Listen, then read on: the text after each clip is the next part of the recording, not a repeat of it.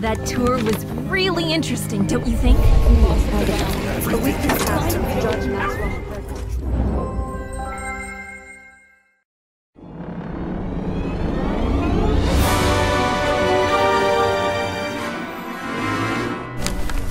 Dear Fairy Godmother, Prince Oliver and I request the honor of your presence at our engagement celebration. Oh no, Sophia, darling! Mirror, mirror on the wall, who's the fairest of them all?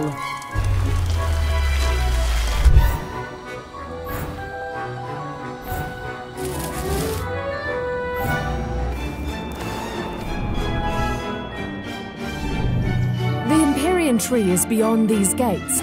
We just need to figure out how to open them.